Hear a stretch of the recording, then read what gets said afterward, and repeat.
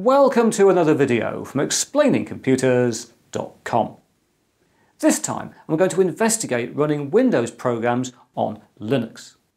Now to do this I'm going to look at a program called Wine which provides a kind of compatibility layer between a Windows program and the Linux operating system. It allows you to run a Windows executable and also to handle all those calls to Windows that will be made by the program but have to be, if you like, translated so they become calls to the Linux system.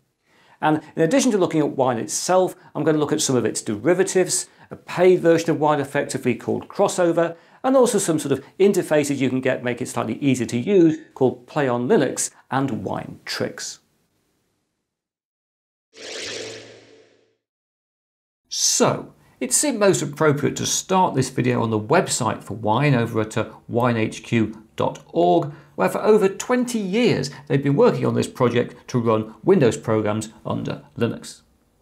Now to get Wine, the most straightforward thing to do would be to go to your application manager in your particular distro. Here as you can see I'm running Linux Mint, so I could go to the, uh, what, the software manager here, ask me for a password of course because it's Linux and it loves to be secure and then the uh, software manager would come up and we could just do a search for wine. There we are.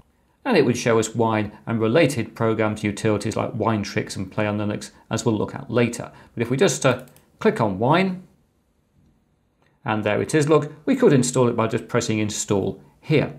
One thing to note though is that you won't necessarily get the latest version that way. Here it's what October 2017, I've got an updated version of Linux Mint. It will give us version 1.6.2 uh, of Wine when the latest version is actually 2.0.2 I think it is. So you're better in many circumstances to go through a longer install process by going to the Wine website, going to download, and then finding the version that fits your, your distro, and then you will install that from this page, which is a, a slightly more cumbersome process. So I'm not going to go through that in this video for all the installs. I'm going to assume you're going to be able to go through install routines for your particular distro. So what I'm going to do here is slightly radical. I'm going to do this. Yes, what I've done, I've switched distros. I'm now running Zorin OS, which is a very nice version of Linux, particularly for people who want to migrate from Windows to Linux because it looks quite uh, Windows-like as you'll see if we uh, bring up the menu. And as you might also have noticed here, it's got Wine pre-installed. Now admittedly several Linux distros have Wine pre-installed these days. It isn't always the most up-to-date version as you'll find it is with Zorin. And you'll also find you've not just got Wine installed, you've also got the utilities PlayOnLinux and Winetricks as we'll look at later. So if we look at uh, configure Wine here, we'll bring that up. This is uh, an October 2017 version of uh, Zorin, at least downloaded in October 2017, and you'll see it's given us a Wine version 2.0.2, so only 0.01 off the latest version. I think I can forgive it that. And if you wish, you can configure all sorts of things here. Not least you can configure which version of Windows you want this to look like. I've got Windows 7 there, but you can set up things like Windows libraries, graphics setup, you can see how it's mapped drives and things. All this is available to play with if you need to but most of the time you should be able to just leave things on the defaults. The other thing you can do if we go to the Wine menu is you can see we've got uh, Browse Virtual C Drive. It's set up a virtual C drive because of course Windows programs expect to find certain directories and files within them and these are here. This is very familiar for, for Windows users, isn't it? Now to test this out, in Downloads here, I brought in some uh, program files from Windows. I particularly brought across NoteTab Light by just literally copying across its folder. This is a small uh, editing package I use quite a bit and I know this can be moved between machines without having to do an install, just literally taking all the files across. So if we go down here, you run NoteTab from its uh, executable notetab.exe and with wine installed you could go to a terminal in Linux and type wine and then here notetab.exe, the name of the file, and it would run. Or I can do a right click and go to Open with the Wine Windows Program Loader. And if we're lucky, this has just been copied across. Yes, it works. We've now got NoteTab running, which is a great little package, gives you an opportunity to run lots and lots of tabs with different, uh, different, different code or HTML, whatever you want inside them. Anyway, that clearly works. Let's try something a bit more complicated. Let's go back and I thought, well, if I run a graphical package, a 3D package, that might be a good thing to try. So Sculptris is a 3D sculpting package. It's actually the free version of a package called ZBrush, And uh, this is not the latest version, but it's a fairly recent version, and this is the install executable. So again, if I go to open with the Wine Windows Program Loader, this should now try to install Sculptris on the, uh, the Linux system using Wine. And uh, there we are, it's got to the uh, that part of install shield. That's okay, we'll do next on that. And I'll accept the terms of the agreement. I apologise for the great gales blowing outside today. I'm competing with gales and fireworks on my sound, so hopefully you can hear me okay. We'll do a complete install. It's only a test and press on install. And uh, oh, it's given me some um, icons on my desktop. It says it's finished. That seems very fast to have installed. I guess it is running on SSD, but even so, that seemed rather fast.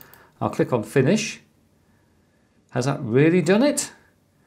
I'm, I'm a skeptic. Um, but if we look in under wine there, yes, nothing's appeared under there yet, and it should have appeared under there if it had been installed. But uh, who knows? Let's try clicking that. It has. It's having a little think still. Oh, yes. It's installed Sculptris. I shouldn't be so surprised, should I? This is this opens up in a uh, mode where you're just doing some very basic sculpting on this clay in, in the symmetrical mode. If I just move that around, you'll see we're just painting on virtual clay there, and it seems seems to work, doesn't it? We can build a strange looking thing. There we are, I can play with this for hours. There's all sorts of um, sculpting tools over here. We can flatten stuff out as well, there we are.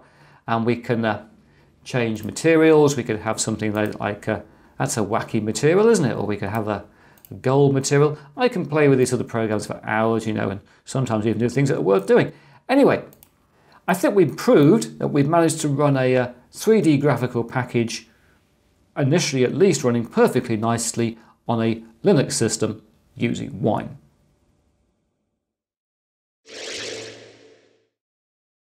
Right, I've now rebooted the system and uh, if we look under the uh, menu in Wine there, you can see there's now an entry for Sculptris as should exist after you've installed an application under Wine. That said, we've still got the uh, desktop icon, which is very nice. I think we'll get rid of that icon there. Don't really need, need that one. But it doesn't always, I should say, go as well as it did for us in installing Sculptris just then. So that's why there are utilities available to make Wine easier to use and to help you download software. And those are particularly Winetricks and Play-On. Linux. So let's just have a quick look at those. Obviously I can't look at all of their configurations and options because it depends on the programs you want to install. But if we look at uh, installing a program under PlayOnLinux, you will see there's all sorts of things you can install, accessories, development things, educational things, loads of games. It is after all called PlayOnLinux, so you would expect there to be loads and loads and loads and loads and loads and loads and loads and loads of games, and here they all are. You can install uh, whatever you wanted. Uh, all sorts of games are here that you could uh, potentially install. Um, Star Wars Jedi Knight 2 Jedi Outcast, for example, is there, which you could install. And there's even an option here for no CD required, which I'll just leave you to uh, ponder over. There's also lots of uh, graphical programs, scripts to help you install things like, like Photoshop, as we could see there. Um, internet things, you can install older versions of Internet Explorer and Safari and things for testing, multimedia programs, office programs, etc. But I thought we'd just try and install, say, uh, Google SketchUp, which is a, a, drafting package. Isn't actually from Google anymore, it's from Trimble Navigation, but let's try and install it. That probably suggests it's an older version, but just want to show you the process. So we'll click on that and let it do its thing. And I will just keep skipping through these, selecting the, uh, the obvious option.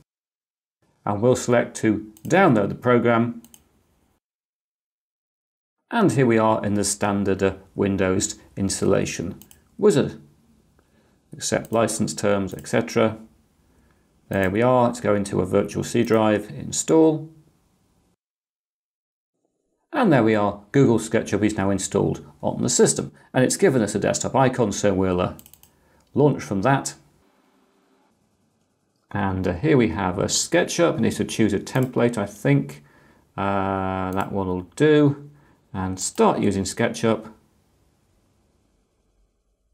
And it seems to be working. We can just uh, drag out some nicer areas a building or something, whatever it's going to be. Put that one there. Doesn't really matter, Chris. It's only proving it works. And we can uh, elevate those sections. Whoa, this is going to be a lovely building. Look, we've just uh, gone and covered a person up. That's probably illegal. And um, somewhere up here there must be the thing to uh, rotate around in the world. There it is. There we are. So we've now um, proved we can run Google SketchUp. We can install it and run it using a Play on Linux.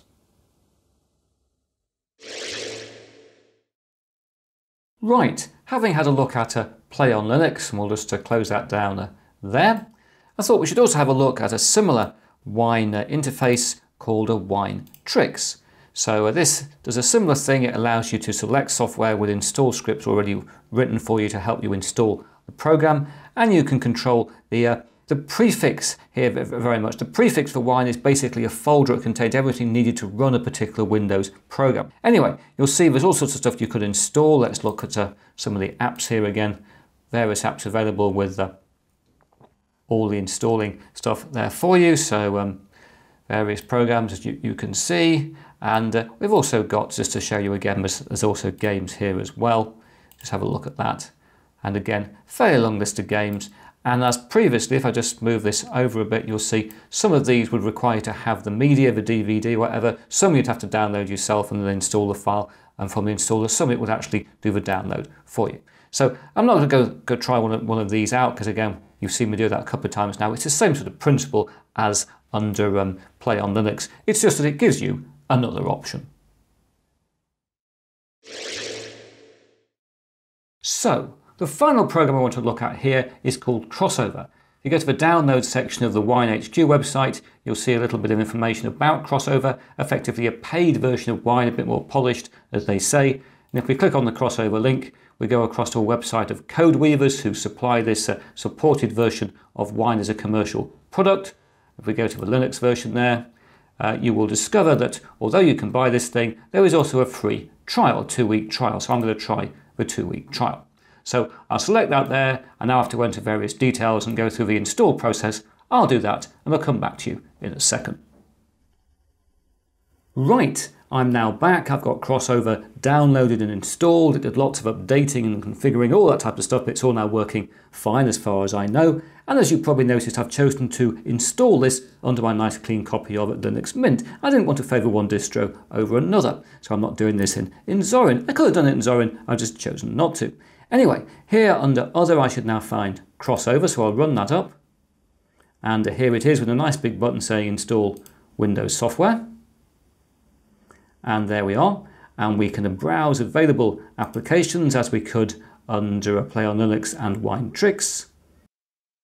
And uh, there we are, eventually it's told us what is available. And again, there is a massive great list of stuff, educational stuff, and there are games again, there's multimedia stuff, lots and lots of programs are here. Although, as I have found, having looked through this in some detail, there's lots and lots of things available, as there are under Winetricks and PlayOnLinux, until you actually want to install a particular thing you find useful, in which case it isn't there. I particularly want to install Lightwave, which is my main a 3D modeling package, and it isn't here. But I'm going to install it via the manual process, so I'll give it a name there, and I'll select an installer, which will be an installer file, and I've got that available sitting here in the download, so I'll pick that up. That's the installer for Lightwave 9.6, which is not the latest version, but it's the one I currently use. And now to select a bottle. This is effectively the, uh, I suppose the folder is the best place, where it keeps all the information about this particular install, all the configuration, etc. I'm going to pick Windows 7 64-bit because I know it works under that. That's what I currently use it under. And I'll call this bottle Lightwave. Why not, just to be, uh, helpful. Now ask me where I want to put it. Just do unlisted application, and I can now press on continue. So in series we'll install it. I can press on install, and we will see what happens. And this is looking promising. It's come up with the uh, setup wizard. I should say Lightwave is quite a complicated setup because it's got various things it has to install to make it work. So we'll see how we do. And uh, there we are. It seems to have survived the uh, fairly torturous installation process. It's even shown with a README file. This will run hopefully in uh, a demo mode because I won't be inputting all my key information. Um, Cinnamon has just crashed. Oh, that's good, isn't it? Um, do you want to restart Cinnamon? Well, I guess I've got uh, little choice. Let's see if we can close that down first. And uh, there we are, crossover has now got uh, that available. Um, I'm going to say, no, I'm not going to do that. Let's see if it actually has worked. So we've got different parts to uh, Lightwave. There's Modeler, which is where you create your models. Let's see if that works. And this is looking quite good, isn't it? This is this is running Lightwave. I could uh, create myself maybe a box and there and there and uh, um, whiz around. That, that seems to have worked. And I could do a... Um, oh, I'm back into Lightwave head now. Didn't expect to do that today. And uh, there we are. Just, let's just cut it up a bit maybe and pick up some polygons and uh, pick up those polygons there. And can we uh, sort of stretch them out? Oh yes, this seems to be working. That's all right, isn't it? And uh, um, yes, this seems to be so far. We could sub-patch it, make it really, really wild and wacky. Yes, this seems to be working. We've got Lightwave Modeler is working. And hopefully, if we're really lucky, the layout program would work as well. This is the program you actually do your animation stuff in. So um, here we are here, and again, is that working? Oh, it is. Yes, we've actually got a what seems to be a working package. Obviously, it would take you a while to check out this actually worked, but so far so good. That seems to be a pretty impressive. So crossover seems to work. I don't know whether it adds things into the menus or not. Um, oh, it seems to have uh, completely reconfigured Linux Mint for me. That's not very nice of it, is it? So basically, it's added a crossover menu. I see what it's done up there. Um, has it added this into a, a package anywhere? No, I'm just having a little thinker. I'm thinking out loud. Oh, there, oh, I see it. Added Windows applications, NewTek and Lightwave, and that's down there. That's actually quite good, isn't it? So I don't particularly like the way the program decided to reconfigure how I use my operating system, but other than that, I'm quite impressed with the installation of Crossover.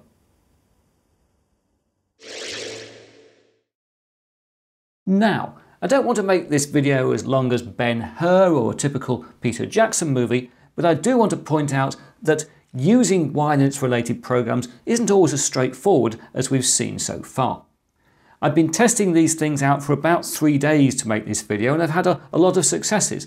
Lightwave in particular has been good for me and Lightwave I found will work perfectly well even without crossover. Here it is running under standard uh, wine sitting there and uh, here under Linux Mint so that's working very well indeed that's not a problem but I have for example tried to install the Kindle Reader for PC under Linux and I've tried to install it with Wine and with PlayOnLinux and with Winetricks and with Crossover and they've all failed. And my general experience has been over three quite intense and frustrating days that some things work really well, some things work a little bit and some things don't work at all. So please do take that as a final message. I've shown you in this video how to make things work, the basics of these packages. There's lots of different things you can twiddle with to make things work better, but sometimes they don't help you. Sometimes, at least in my experience of using Wine and its derivative programs, things simply don't work. Wine and its derivatives are amazing undertakings which can prove really useful. This said, they're not a panacea. They do not guarantee in any way that a particular Windows program will be able to be run on Linux, let alone run to its full capacity to be run as well as it would run on Windows itself. And therefore, whilst Wine is a fantastic thing to have in your armory if, like me, you're thinking of transitioning entirely from Windows to Linux, they are not the, the total solution. You've got to investigate also Linux programs which will do the job directly. Um, I, like many people here, I know from the comments you make, I'm caught in this what happens at the end of Windows 7 thing. Um, which way am I going to go? I've already got one machine, my netbook running Linux, other things. I don't know quite what's going to happen. I will continue to investigate wine and, and its derivatives. They could be useful, but uh, I, I wasn't surprised to learn, and I have confirmed to myself in, in the course of making this video and doing the research for it, there isn't a perfect solution, at least at the moment, to running Windows programs on Linux. Anyway, that's now it for this time. I hope you've enjoyed the video. If so, please press the like button. If you haven't subscribed, please subscribe, and I hope to talk to you again very soon.